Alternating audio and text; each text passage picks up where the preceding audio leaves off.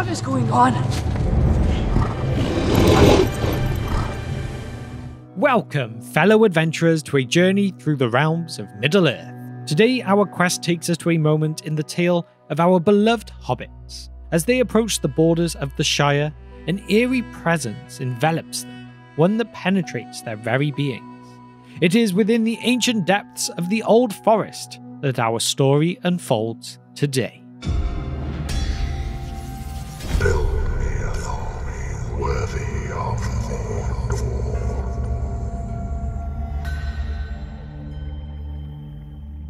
Remember everyone, if you find this video helpful, informative, or entertaining today, please remember to hit that subscribe button below. By subscribing, you'll never miss out on any of our latest videos, and you'll be supporting us to continue creating great content like this. The Hobbit's journey beyond the tranquil confines of the Shire has been fraught with fear and terror. The encounter with the Nazgul, the chilling dance with the malevolent trees, these trials have left their mark. And it is on this night, a night when Frodo experiences his first visionary dream, that the veil between the waking world and the realm of phantasms is lifted. Today we shall bear witness to the most crucial moment of communication. Mortal men and hobbits peer through the ethereal veil, gazing into the dark halls where Sauron reigns.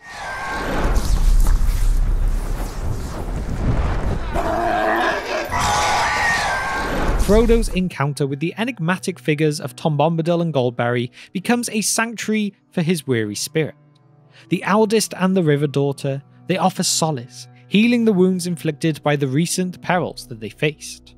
Within the haven of Tom Bombadil's home, Frodo's soul finds respite.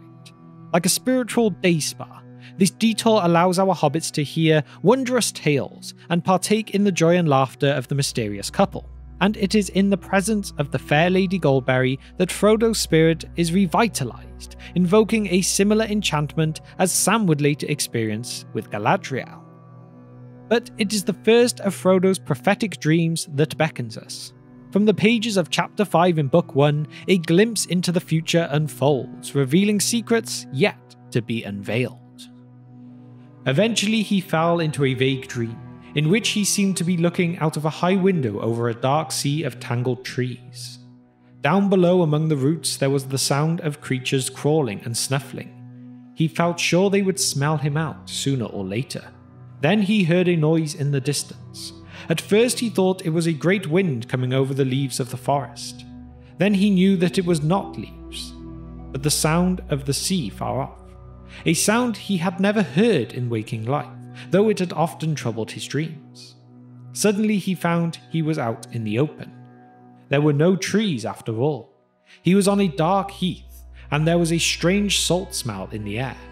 Looking up, he saw before him a tall white tower, standing alone on a high ridge. A great desire came over him to climb the tower and see the sea. He started to struggle up the ridge towards the tower, but suddenly a light came in the sky and there was a noise of thunder. In this pivotal moment, Frodo finds himself haunted by the return of his fears, the dreaded Black Riders who relentlessly pursue them. However, amidst this unease, a profound image emerges, capturing his attention the White Tower and a tantalizing glimpse into distant events. It is within the House of Tom Bombadil that the significance of this vision comes to the front. They collectively perceive it as a glimpse into Frodo's future, a glimpse into how his perilous journey may ultimately reach its conclusion. Before we continue to dive into visions, foresight, and what it all could mean, I wanted to take this moment to talk about our sponsor for today, G2A.com. G2A.com is the world's largest marketplace for all sorts of digital products. Whether you're looking for games, software, or gift cards, they've got you covered. With millions of customers who have already saved using G2A, it's a platform worth checking out.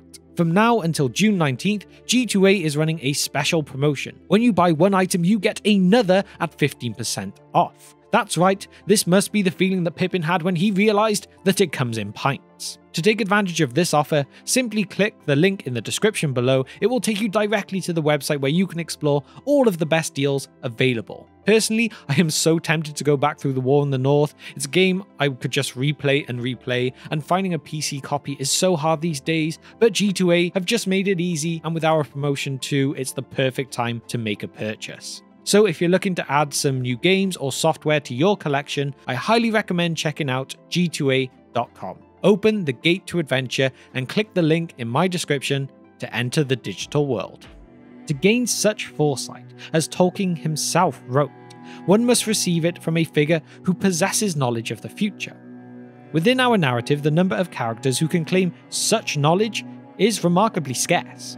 We are left with two possible sources Eru himself, the Supreme Being, or one of the Valar, the powerful divine beings within the Legendarium. Notably, Ulmo, often associated with water and particularly with the hobbits, emerges as a potential and maybe most likely candidate of these. Frodo unwittingly becoming a recipient of such celestial insight is guided by forces beyond a hobbit's comprehension. In an essay called Ósanwe-kenta, written by Tolkien, he writes that no mind can possess knowledge of what is not within it. Everything a mind knows is derived from its own experiences, although in the cases of beings in physical form, certain memories may be temporarily inaccessible. However, the future is not contained within the mind, as a mind existing within the bounds of time cannot perceive or have perceived it. To gain knowledge of the future, a mind must rely on another mind that has seen it. This can only be Eru, the supreme being, or a mind that has received the insight into Eru's purpose, such as the Valar, who were once the Ainur. For an incarnate being, understanding the future is possible through instruction from the Valar or through a direct revelation from Eru Iluvatar himself. In essence, it highlights the limitations of mortal minds in comprehending the future and emphasizes the need for divine intervention or guidance to gain insight into the yet to be unfolded events. So then, what of the tall white tower that is mentioned? There is a light glowing within, and the Black Riders have gathered around it. Amidst their snuffling presence, fleeting visions of Frodo's ultimate quest come to the forefront. It is widely speculated that the towering structure depicted in this vision is Elostirion, situated upon the Tower Hills to the west of the Shire, being one of the tallest of the White Towers built by Gil-galad for Elendil. In due course, we discover that one of the Palantiri, the mystical seeing stones, is positioned here too, overlooking the vast expanse of the sea, maybe giving that hint into it being something that Sauron himself can see as well. Of the two significant dreams experienced by Frodo during his recovery at Tom Bombadil's house, one dream reveals a clearer narrative. It seemingly portrays Gandalf and his entrapment within the walls of Orthanc. In the dead of night, Frodo lay in a dream without light. Then he saw the young moon rising. Under its thin light there loomed before him a black wall of rock, pierced by a dark arch like a great gate. It seemed to Frodo that he was lifted up, and passing over he saw that the rock wall was a circle of hills, and that within it was a plain, and in the midst of the plain stood a pinnacle of stone, like a vast tower, but not made by hands. On its top stood the figure of a man. The moon as it rose seemed to hang for a moment above his head, and glistened in the white hair as the wind stirred it. Up from the dark plain below came the crying of fell voices and the howling of many wolves. Suddenly, a shadow, like the shape of great wings, passed across the moon. The figure lifted his arms, and a light flashed from the staff that he wielded. A mighty eagle swept down and bore him away. The voices wailed, and the wolves yammered. There was a noise like a strong wind blowing, and on it was borne the sound of hooves galloping, galloping, galloping from the east. Black riders, thought Frodo as he wakened, with the sound of the hooves still echoing in his mind. He wondered if he would ever again have the courage to leave the safety of these stone walls. He lay motionless, still listening, but all was now silent, and at last he turned and fell asleep again, or wandered into some other unremembered dream. There are many ways to approach this, and the easiest is that this is merely a glimpse of what Gandalf has experienced in his dealings with Saruman. Frodo later recounts this dream to Gandalf upon their reuniting at the House of Elrond, and well, it seems very accurate.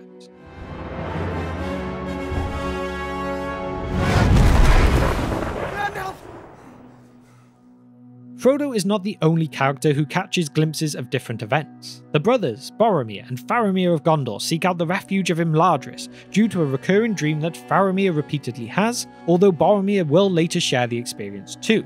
For a way to understand what is being seen, one can liken them to spontaneous glimpses through a permeable surface, akin to the construction of Galadriel's mirror, which itself grants prophetic visions, even if not all those visions come to pass. Things that were things that are, and some things that have not yet come to pass.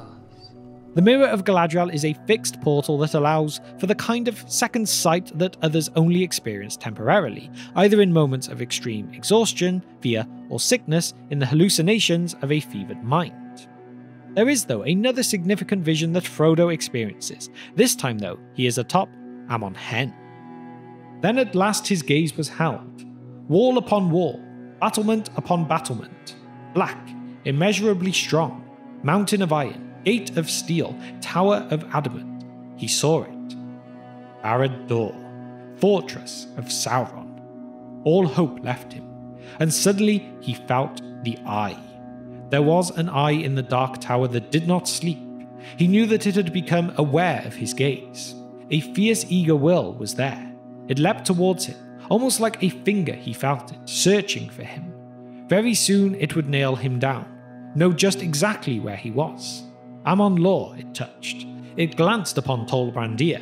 He threw himself from the seat, crouching, covering his head with his grey hood. He heard himself crying out, Never, never! Or was it, Verily I come, I come to you? He could not tell. Then, as a flash from some other point of power, there came to his mind another thought Take it off! Take it off! Fool, take it off. Take off the ring.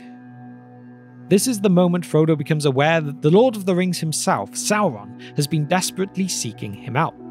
Always. Hungrily. Unceasingly. And the ring, as Gandalf tells him. The ring is trying to get back to its master. It wants to be found. Think about Bilbo's moment of realization when Gandalf tries to talk him into leaving the ring behind. Bilbo initially agrees, but inwardly hesitates. Well, no. It is at this point that he realizes he had deceived Gandalf, falsely claiming to have placed the ring on the mantelpiece when he knew it was concealed in his pocket. This same lack of self awareness is precisely what the ring instills in its bearer. In moments when Bilbo contends with the influence of the ring, Gandalf is present, albeit interacting from a distance. Just as Frodo once glimpsed Gandalf from afar atop Orthanc in his feverish dreams, this is a world where spirits communicate across distances, and characters extend their will outward in tangible ways, akin to a grasping hand. If we continue with that quote from a moment ago, though, the two powers strove in him. For a moment, perfectly balanced between their piercing points, he writhed, tormented. Suddenly he was aware of himself again, Frodo, neither the voice nor the eye, free to choose, and with one remaining instant in which to do so. He took the ring off his finger. He was kneeling in clear sunlight before the high seat. A black shadow seemed to pass like an arm above him. It missed Amon Hen and groped out west and faded. Then all the sky was clean and blue, and birds sang in every tree. This one is interesting because later we get Gandalf's perspective and thought on the same point, though the moments are aligned in time, if not chronologically. His thought was ever upon Frodo and Samwise. Over the long leagues, his mind sought them in hope and pity. Maybe Frodo felt it, not knowing it, as he had upon Amon Hen, even though he believed that Gandalf was gone, gone forever into the shadow of Moria far away.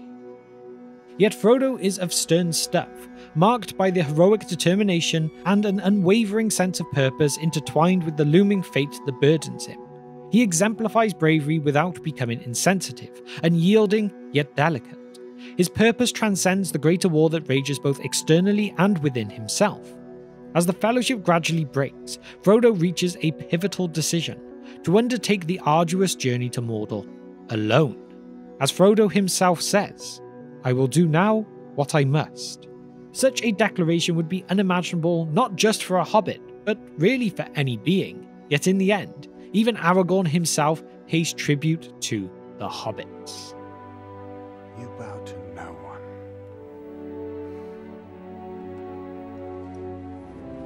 Frodo's visions are gifted to him, but on a slightly different thought here, and maybe somewhat of a side quest, if you will. Who convened the Council of Elrond? When we think about the matters discussed, their great significance and urgency, it might be assumed that envoys of each attendant might have sent word by rider to the borders of Rivendell to arrange some sort of meeting with Elrond.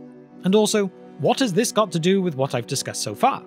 Well, in the text, the events have come together in such a way that each people, the dwarves, they've lost contact with Balin's folk in Moria. The elves of Mirkwood, they've brought tidings that Gollum has escaped from their watch. And at the same time, two brothers and soldiers of men of Gondor have had the same dream when the word Imladris and Halfling come to mind. We all know Strider's riddle, the poem that has come to represent Tolkien's best. All that is gold does not glitter, not all those who wander are lost.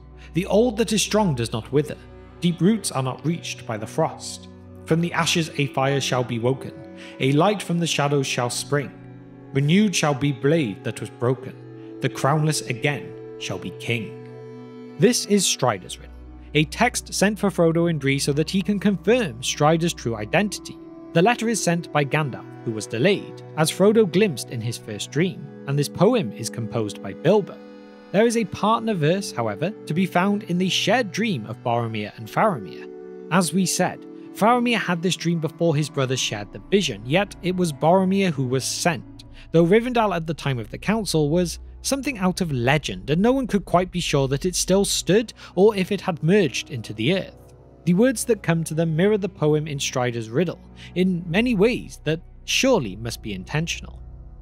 Seek for the sword that was broken, in Imladris it dwells. There shall be counsels taken, stronger than Morgul's spells. There shall be shown a token, the doom is near at hand, for Isildur's bane shall waken, and the halfling forth shall stand. It is noteworthy that each group had come of their own accord. Each was compelled by events and brought together at a simple place, at a time, for a purpose, and this culmination of all the free peoples coming together in the legendary realm of Rivendell shows that the forces of good are still active and at work, if more quietly than before, and that fate has a steady hand on Middle Earth. When Frodo first regains consciousness here, and he is told the time and the place, he says to Gandalf, I saw you, cried Frodo. You were walking backwards and forwards, the moon shining your hair. Gandalf paused, astonished, and looked at him. It was only a dream, said Frodo, but it suddenly came back to me. I had quite forgotten it. It came some time ago, after I left the Shire, I think. When he makes the decision to go to Mordor at the council, Frodo was not fully comprehending the weight of his decision. Following the profound visions experienced within the Old Forest, and then at Rivendell, Frodo consciously opts to undertake this arduous path, embracing whatever perils may lie ahead. And you have someone like Gandalf letting him do so. I will help you. Ben. Someone as wise as this wizard might have understood that these visions were sent to Frodo for a reason. There was a purpose, a higher purpose, behind their message. And then when Frodo makes this decision on his own, it is to do it alone as well, albeit, as Master Samwise says, Of course you are. And I'm coming with you. but nonetheless, Frodo chooses to embark on his daunting task, recognizing that the right course of action is not always the easiest to achieve, and the visions that have come to him, through no effort of his part, helped him come to this decision. I'm glad you're with me.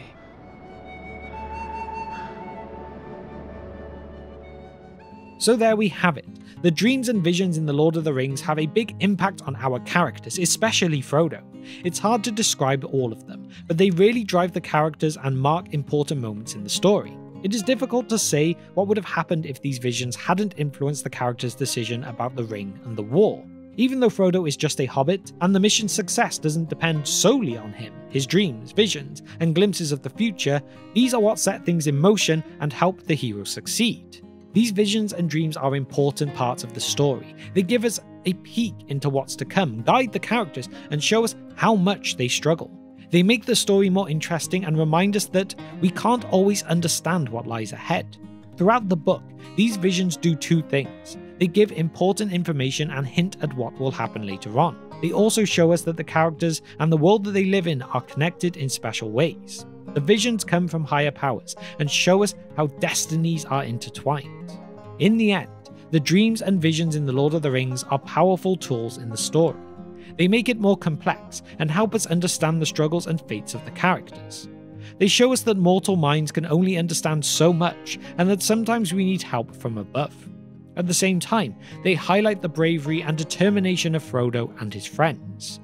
These visionary experiences contribute to the timeless and captivating nature of Tolkien's epic tale of Middle Earth. With that now, though, it is time for my question of the day, which is Do you have a favourite quote from The Lord of the Rings? Is it maybe one of the poems, a speech, or something else entirely? What is it, and why? Let me know your thoughts and favourite quotes in the comment section down below.